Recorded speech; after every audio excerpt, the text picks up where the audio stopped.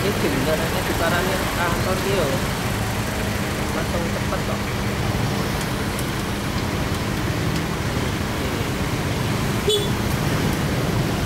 Nyelip-nyelip ya oleh tapi kini macet tadi ini TV Bayangkara gitu jadi sering macet oh juga